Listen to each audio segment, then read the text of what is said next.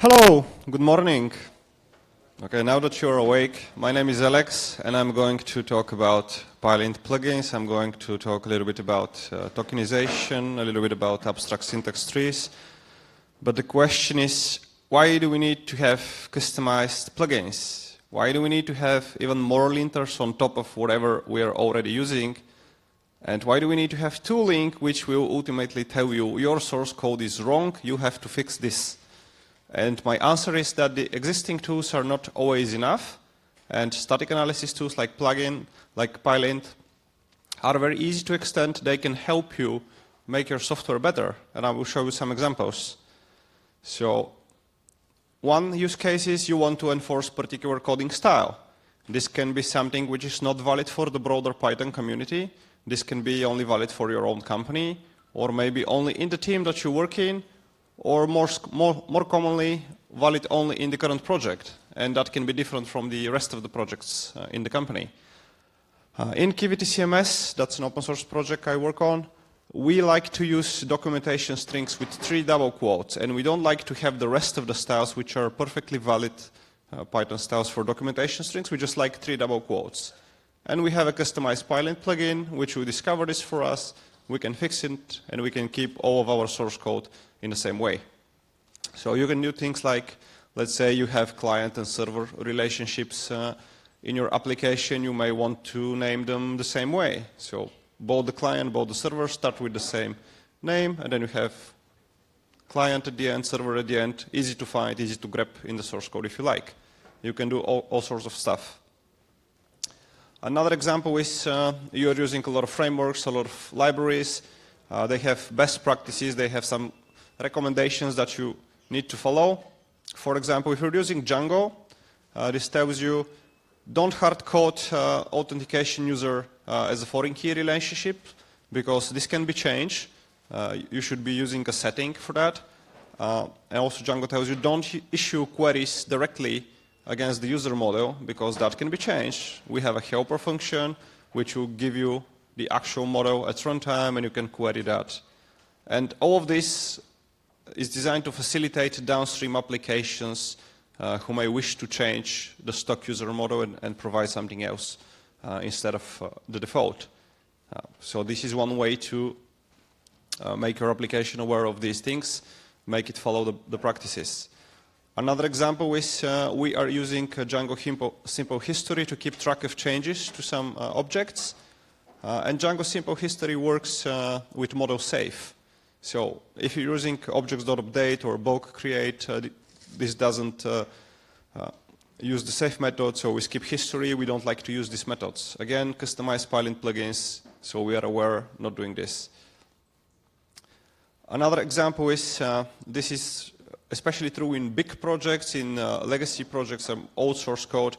Uh, you can use static analysis tools to help you find possible sources of problems of bugs. And we have had the problem of missing permission, so we have views uh, which process requests from the, from the browser and they are missing the permission required decorator. So that's, that's really bad. And we've seen this a few times, figured, okay, let's create a plugin uh, for PyLint and find all the places in the source code that may be missing these permissions. And so we have a list of them.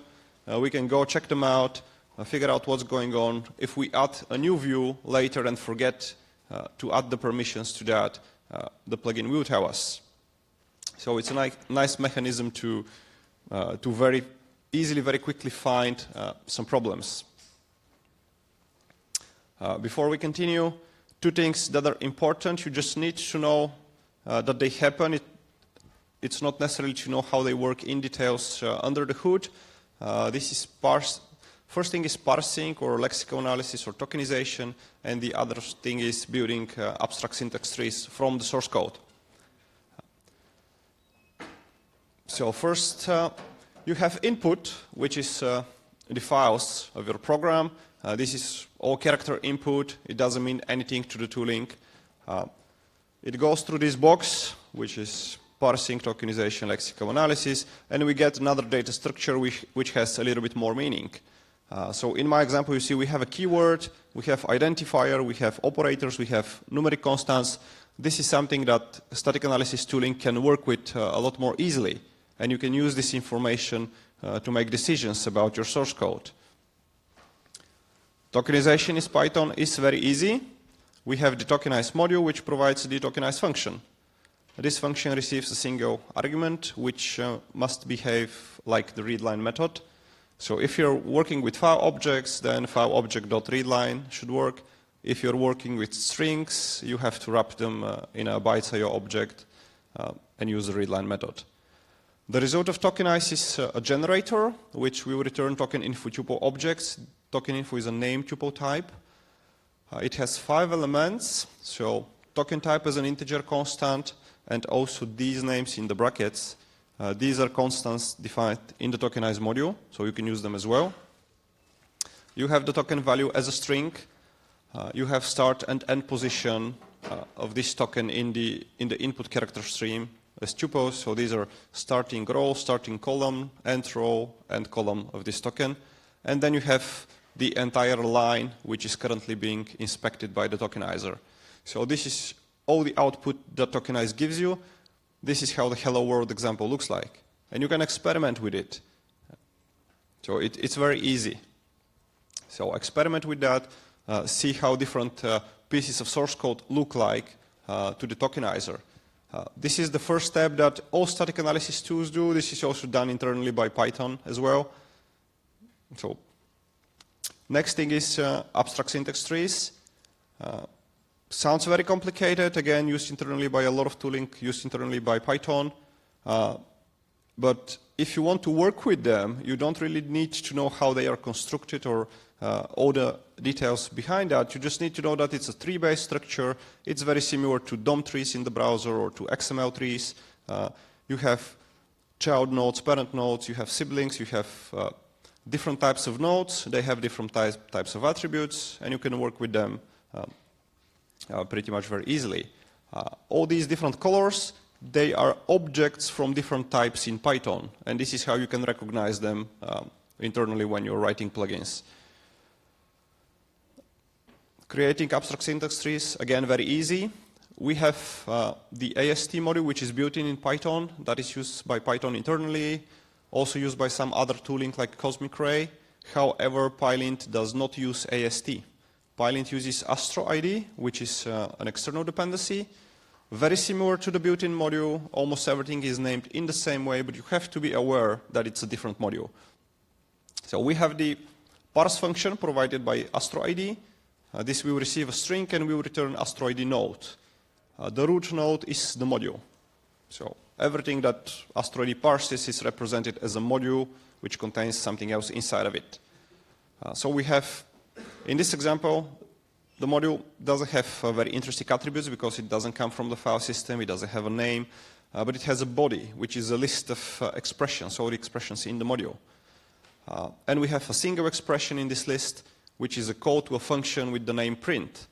This function receives arguments, which is again a list, and we have only one argument, which is a string constant in this example, and we don't have any keyword arguments. So again, you, you can experiment in the interactive interpreter, or you can create a, a small script and experiment, see how different pieces of code look like uh, uh, to AST. Uh, this is a relatively well-documented library. What you're going to need most of the time is uh, the list of uh, classes. You need to know their names, and you will see why um, in a second. And you need to know their attributes. There are also some helper methods, some helper functions uh, that you may want to use. They are usually defined in, in the base classes. So again, experiment with that uh, and figure out how it works. Next is uh, Pylint checker interfaces. This is the internal machinery that Pylint provides for you, the developer, to hook into the uh, analysis process and be able to, to create the plugins. This is also the machinery that Pylint itself uses internally.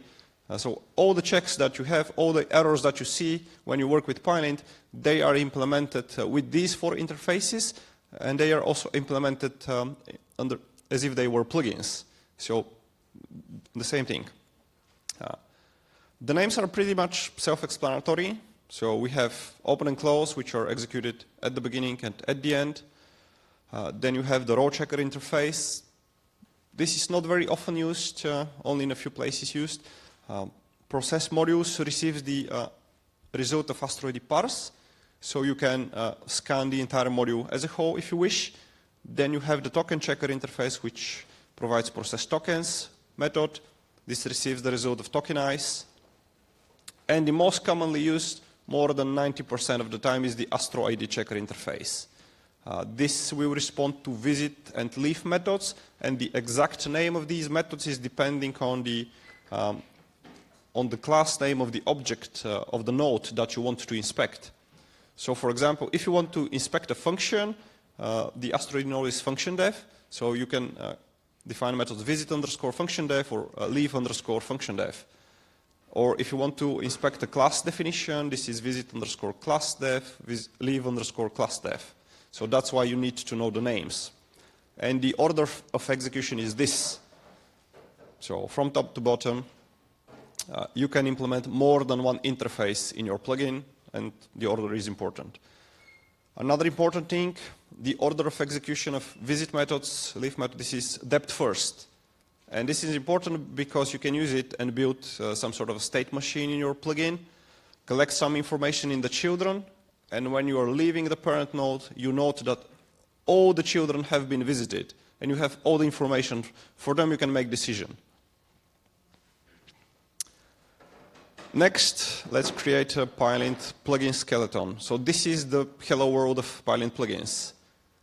Every module, which is valid, valid Python module that provides a register function with one argument will be considered a Pylint plugin. Pylint will import the module, try to execute this function. You can put anything you like in this function. Uh, usually what goes inside is something like that.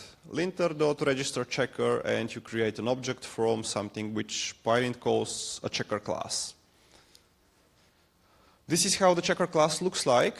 This is all boilerplate code. This is the bare minimum that you need to have uh, for Pylint to, to, to be able to execute this class. Uh, this is where all the logic about discovering coding patterns and deciding if something is an error or not an error um, is done. So you need, uh, you need this attribute. This is double underscore implements double underscore, and you give it a list of uh, what interfaces you're going to implement. Usually it's only one, but it can be more. You need the name attribute. Uh, most of the time this is not used, but it's mandatory. And you need the messages dictionary. Notice the name. So that's how it needs to be written.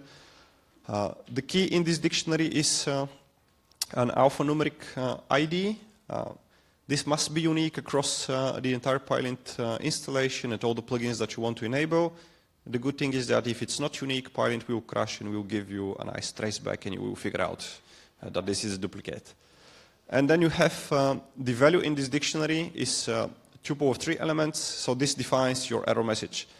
The first one is the short error message, which you are going to see on the terminal if you use Pylint. It's only one line. The second one is the human readable message ID. Uh, this is what you're going to use uh, to enable or disable particular checkers on the command line. So for example, disable missing doc. This is something that we do almost all the time. And the last one is a longer help message. This can be several lines long. Uh, you can you can also see this on the terminal with additional options. This is usually also compiled as HTML documentation. That is the place to explain to the, to the developer that sees the message why that is a problem, how to fix it maybe. And you need to implement some method from these interfaces. So you scan some source code and decide, okay, that's an error, self.add message, give it the human readable message ID, and the rest of the arguments are used to annotate where this message, this error appears in the source code. So this module, that particular line, that particular column, and Pylint will print this information nicely for you. Uh, invoking the plugins with minus minus load plugins, the only thing that you need to be aware of is Pylint is looking in the standard Python path for these uh, plugins. So if they are not there, you, either you have to move them there or modify the Python path settings. And that does it, nothing else. Now I'm going to show you a few examples uh, from our open source project. All of them are on GitHub. We do have uh, a lot more available. These are things that we use to make our project better. So documentation string checker, this is how it looks like, the essence of it. Uh, it implements two interfaces. So in process tokens, we basically scan through all the tokens in the uh, module, find all the string constants and keep reference to them in a dictionary. Key in the dictionary is the string without the quotes, and the value in the dictionary is the string with the quotes. Then we implement these uh, astroid-based methods. So when visiting modules, class definitions, and function definitions, we want to inspect the documentation string. And what we basically do is uh, a dictionary lookup. We find this thing in the dictionary, and if it starts with three double quotes, that's fine. Otherwise, we consider it an error, trigger a message for the developer. The checker for Django. So again, visit const, look for hard-coded strings. We don't really care if this is inside of a foreign key uh, definition or someplace else. If that is a hard-coded string, we raise, a, we raise an error message for the developer. That easy. And also we inspect the imports. If we see something like from Django contrib auth models import user or do a wildcard import, again, error for the developer uh, to inspect this, figure out what's going on. Missing permissions checker, that's probably the biggest one that we have, which fits on two slides, unfortunately. So first, visit module, we try to figure out if this is a views module, and in our project we have application slash views.py, another application slash views.py. That's the structure, and we just inspect the module name. Keep this in a, in a Boolean flag. Next, visit function def. We try to figure out if this function that is in a Django view file, is this a helper function or is this uh, function-based view something that uh, responds to HTTP requests? And the way we check for that is if the first argument is named request, then this must be a function-based view from Django. And we continue with further inspection. For classes, we do a similar thing. Uh, we want to make sure that the, thing, the class we are inspecting, this is a class-based view in Django. This is not some helper class which is defined in the same module. And the way we do this is uh, we inspect uh, the list of base classes. So because when you, when you, when you use class-based views in Django, they always inherit from something else. Uh, so we use this to make a simple check. It's not uh, very robust sometimes, but it works for us. And the most important thing, the inspection part, is we basically scan through the list of decorators for the method or for the class and search for some well-known names. So if you don't have any decorators, that's a problem for us. If we do have some, search for the well-known names and some combinations between them. Uh, if we find them, fine. If we don't find them, again, error, the developer must figure it out. We do have um, other checkers in the project. So, for example, we're looking for empty modules. We're looking for nested uh, function definitions or nested class definitions because it's, that's a legacy code base. It's been written in a not very good way, and we don't like to have these things. Uh, when we see these things, they usually mean uh, there are more problems inside. So that's why we have these checkers. Uh, Searching for raw SQL, so Django is ORM based. Unfortunately, we did have a lot of hard-coded SQL statements in the source code which were not compatible with uh, different types of databases. Again, we have a checker. Uh, we have checkers for the libraries that we use. For example, this thing tags.py. This is something internal that we have internal uh, behavior in the application and we don't want to use uh, objects.get or create, we want to use an internal method which will enforce some permission and some other logic. So that's why we have this.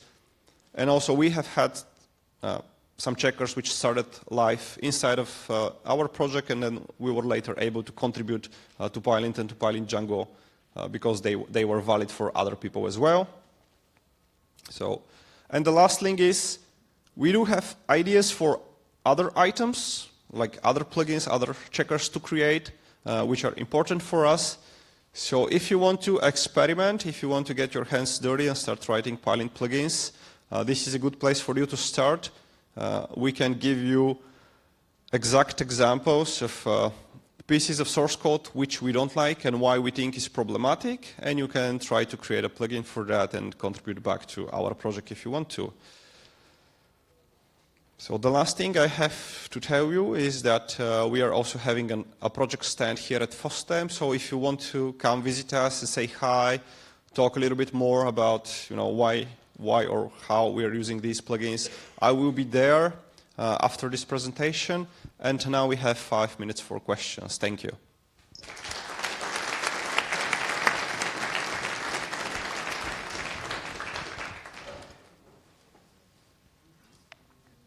Okay, first question.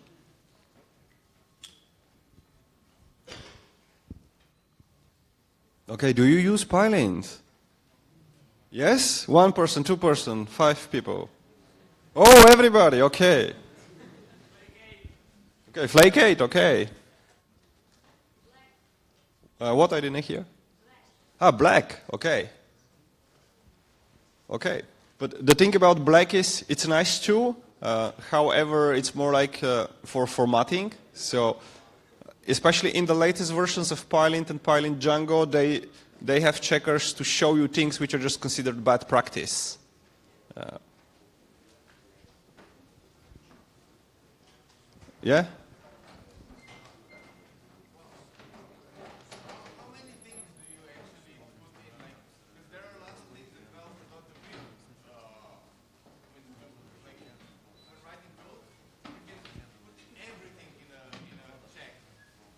Okay, so the yeah.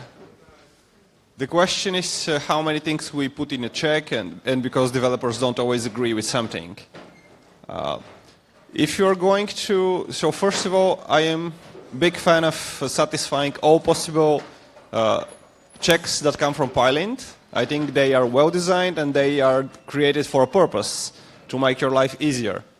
Uh, but, but then if you're going to create your own customized plugins for your team, uh, and you have people that don't agree, then, you, then maybe it's a good uh, time to sit down and make some policies about, uh, you know, coding style within the team, why you consider something to be a problem and why not.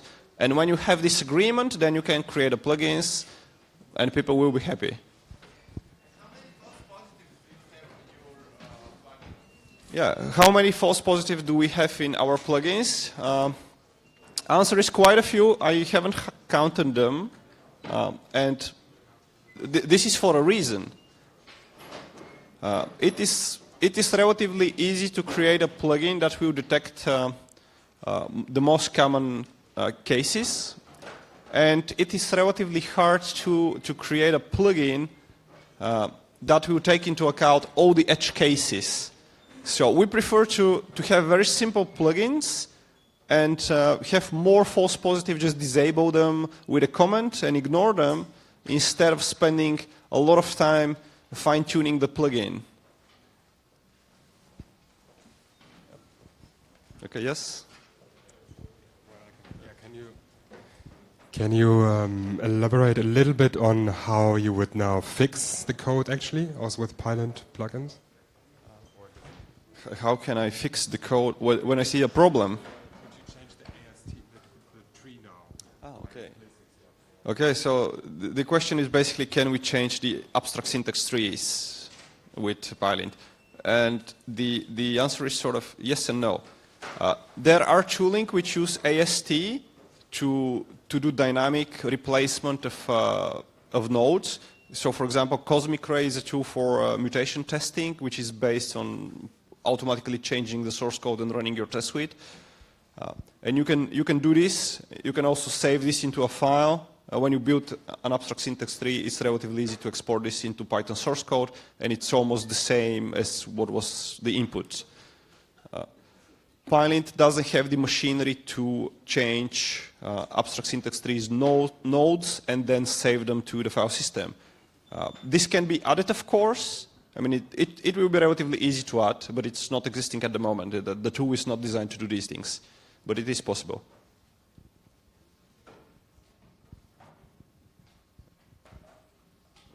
Okay, thank you.